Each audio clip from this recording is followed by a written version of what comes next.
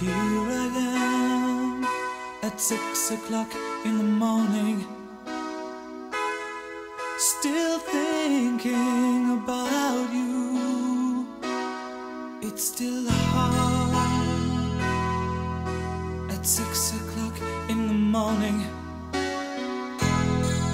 to sleep without